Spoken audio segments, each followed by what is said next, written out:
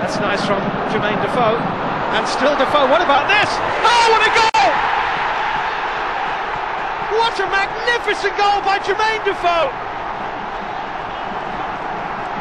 From the top draw to the top corner.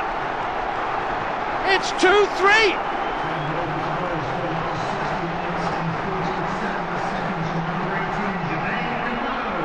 Fabulous goal.